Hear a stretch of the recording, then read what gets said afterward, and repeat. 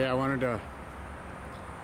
This is that last panel that I did, the fourth one, where I used the uh, foam board oven and a heat gun to melt the EVA. And it it didn't turn out perfect, but it turned out pretty good, and it's putting out pretty good uh, good power. Most of the places that you see like this or there's probably a little something on the solder. The last batch of EVA I got wasn't as heavy a thickness as the first one I, I ordered. Anyway, this panel actually turned out the best out of all four though.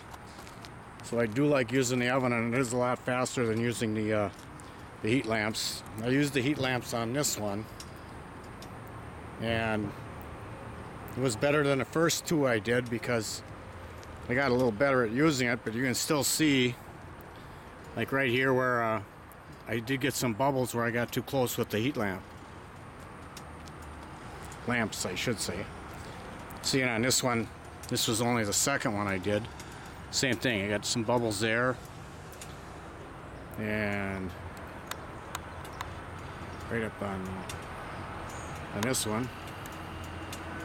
They still seem to be, power-wise, all three of these, even with the bubbles on, seem to put out about the same. Um, this was the first one I tried with the heat lamps, like I said. and the center didn't turn out very well at all on this one, but that was the first time I tried it. And I started out with the heat gun and then I went to the heat lamps. Um, that's the tracker right now. I'm still waiting for Red Rock to send me the dual axis tracker that I ordered in May. Haven't heard anything from them yet. Um,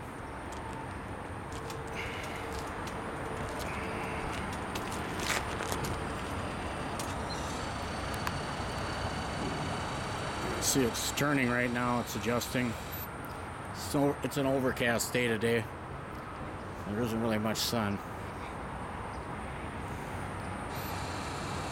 and I still have to make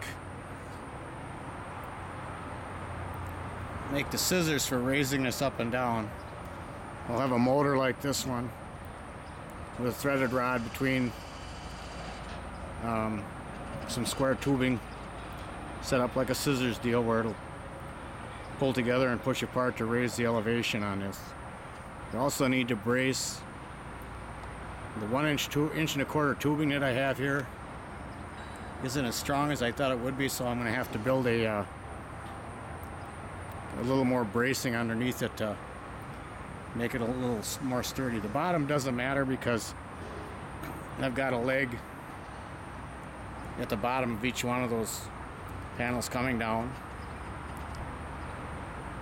Anyway, this will be all I'll have on this rack will be these four. If I decide to do another one, I'll do another one right behind it here. But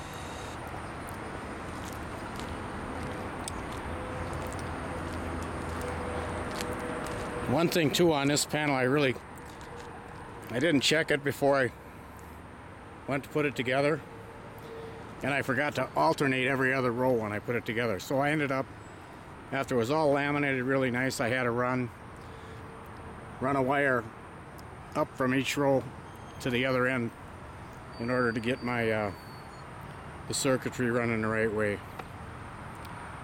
So I was kind of preoccupied, worried about the oven, and I I completely forgot about inverting every other rule. So, but like I said, you can still you can still go around that and and run wire up the outside if you have to, if you do goof up like I did. But waiting for a good sunny day now. See what I get out of these. I, I know that uh,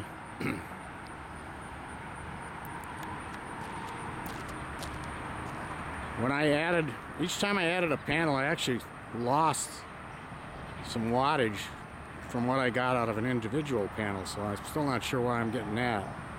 Um, I'm getting around 450 to close to 500 watts out of these on a real bright sunny day, but I should be getting way more than that, so I'll have to figure that out.